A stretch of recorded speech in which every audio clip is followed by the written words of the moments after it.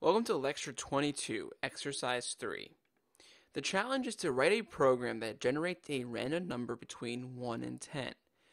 Ask a user to guess the random number, then display the random number and a message indicating whether the user's guess was too high, too low, or correct.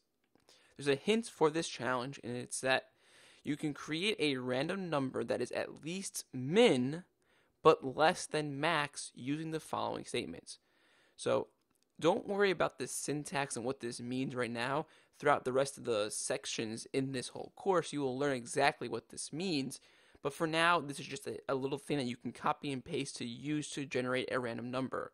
So you're going to first say this one statement random random generator equals new random with a semicolon and then int random number equals the random generator dot next. And then you have min max. So that's what the rule was saying. It's saying that it will generate a random number that is at least min. So if i type in 1 it will at least be 1 it will go up to 1 and less than max. So if i type in 11 it will not include 11 but it will be less than 11 so that would be 1 to 10 that's what we want. So we want 1 and 10 that will I mean 1 and 11 that will generate a random number between 1 and 10 by putting in min as 1 and max as 11 so if you want to try this on your own it will be a little challenging getting the, gen- the generator working and trying to understand that but if you want to try on your own um, go ahead and pause the video now and go ahead and try. If not, I'm going to solve it now. So the first thing we need to do is actually generate the random number. So I'm going to just literally copy and paste this code right here. Remove that. Now for min and max, like I said, I'm going to put that 1 and the 10. I mean 11. So this generates the random number. To see that it's actually working, let's just go ahead first before we solve it and just print to the console um, random number to see what happens. So the first time I run it, I get a 1. Second time I run it, I get a 6. Third time I run it, I get a 6 again. Fourth time, I get a 10. A 1. An 8. So as you can see, as I run it, I'm getting random numbers. So this little snippet of code is generating a random number between 1 and 11. So now that I have that, that's all I need. That's the hard part out of the way now.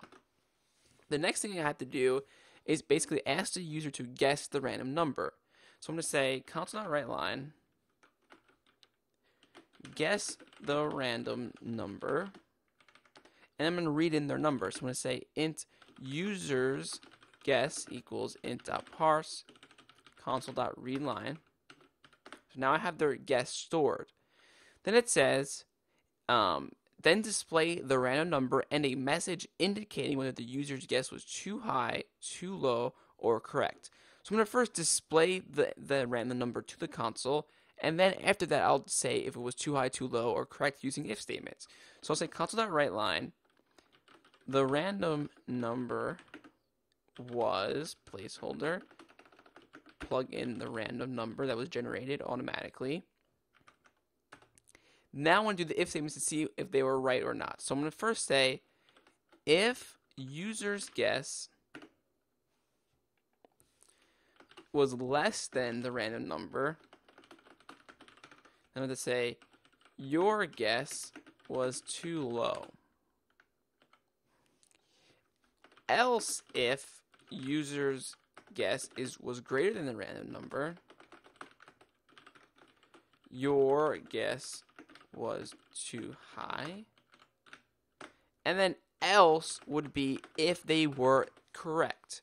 Because if it was too low, it says too low. If it was too high, it was too high. But the only thing that's even possibly left is if it's exactly correct, meaning that the user's guess is equal to the random number because we covered the less than and we covered the greater than. So there's no other thing that it can be. So that's what the else says. Else is whatever is left over.